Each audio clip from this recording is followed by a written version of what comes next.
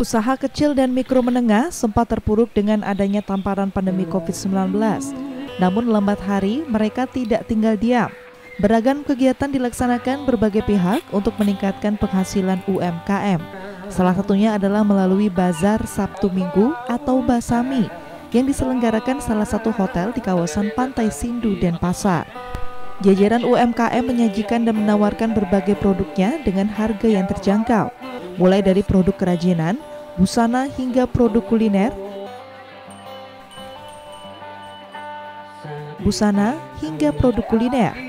Latar belakang pantai juga membuat suasana nyaman saat berbelanja yang tentunya dapat merelaksasi pikiran setelah beraktivitas selama sepekan.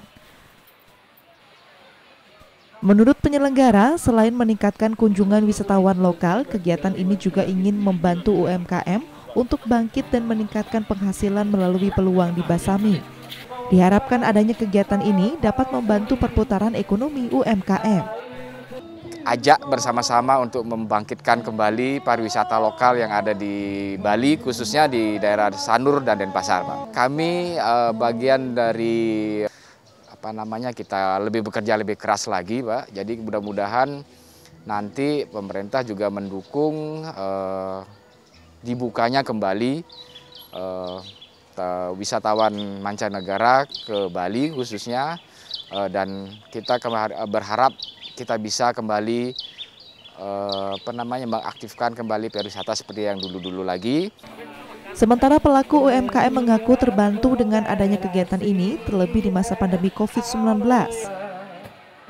Sindu Beats ini. Jadi kami diberikan ruang untuk bisa mengapresiasikan kreativitas kami dalam bentuk produk-produk baik itu makanan dan minuman. Jadi memang di tengah pandemi Covid ini uh, memang sangat susah bagi kami UMKM untuk bisa uh, bergerak. Uh, jadi dengan acara-acara seperti ini kami berharap bisa meningkatkan ekonomi dan juga pariwisata Sanur khususnya. Meski digelar di tengah pandemi COVID-19, Protokol kesehatan tetap dilaksanakan sesuai dengan aturan pemerintah dengan memakai masker, menjaga jarak, dan mengecek suhu tubuh, serta dilaksanakan pada area pantai yang terbuka. Penjualan produk di kawasan Pantai Sindu ini dilaksanakan setiap hari Sabtu dan Minggu pada pukul 6 Wita hingga 17 Wita dengan harga mulai dari Rp5.000. Sang Putu Ariase, Kompas TV, dan Pasar Bali.